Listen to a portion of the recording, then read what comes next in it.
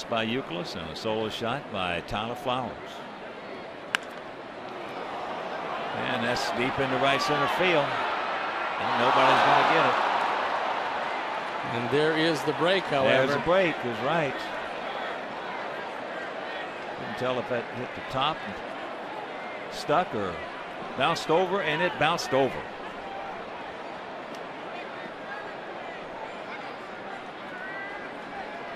So a big break.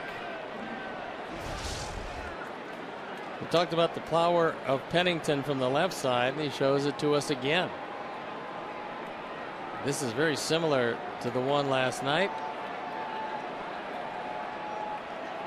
That looked like it went through the fence. Looked funny. That's what I'm saying. I, I didn't. I couldn't tell if it stuck in the top or not. John Welke explaining it to him. Looked like it went through it. It's kind of strange. I've haven't seen much of anything like that.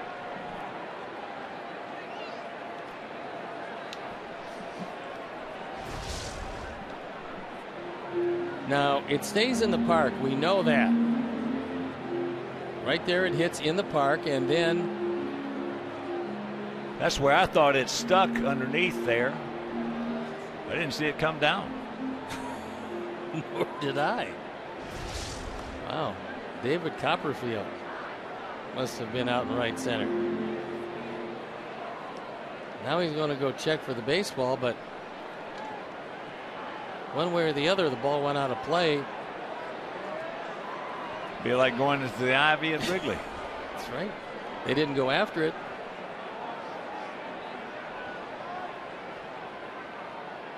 Oh, it's stuck underneath in the padding. That's what it looked like in real time.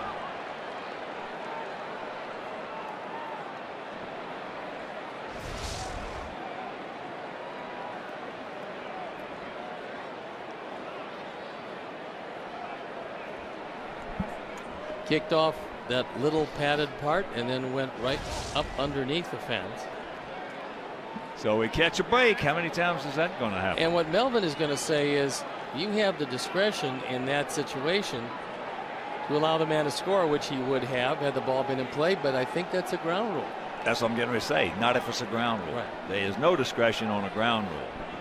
I think that's exactly what Bob Davidson is telling Bob Melvin. Are you sure? Yes. I wouldn't tell you I was sure if I wasn't sure. Fan interference is a different story.